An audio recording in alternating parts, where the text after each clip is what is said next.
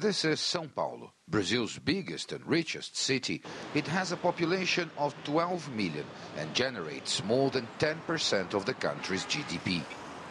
Despite the wealth, millions here still live below minimum standards, according to a recent official survey. For those living here in the São Paulo Garden neighborhood, the infrastructure is poor and homes are precarious. Last year, this family managed to turn its wooden shack into a brick house, but it was not enough to keep summer rain from getting into the home. Eita, meu Deus! Tá gravando, vó. Tá gravando. When the water comes in, it brings garbage, stones, even a snake I found here. It's a desperate situation. Suzette Vieira is fortunate to have walls and a roof over her head, even if the house remains poorly equipped and only half finished. Where can we go? This is the only place we have to live, and we need to stay here.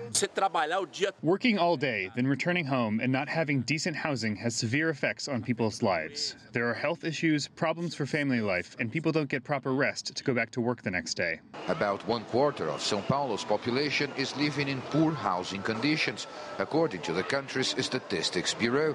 That's significantly better than other parts of Brazil. Numbers show that almost 40% of the urban population is subject to low living standards. Roughly the same amount are considered to be in an average situation, and fewer than 24% are considered to be in good or very good condition.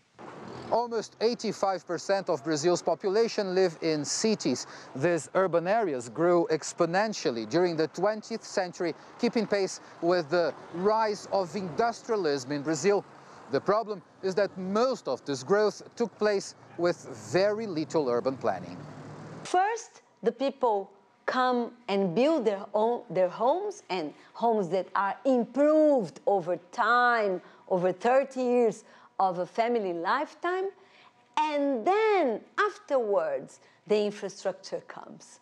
So we are talking about a exposed urbanization, an urbanization that comes decades after the people are there. The problems facing Brazilian cities have grown over the years, so there's no expectation of a quick solution, no matter how urgent the issue. Paulo Cabral, CGTN, São Paulo.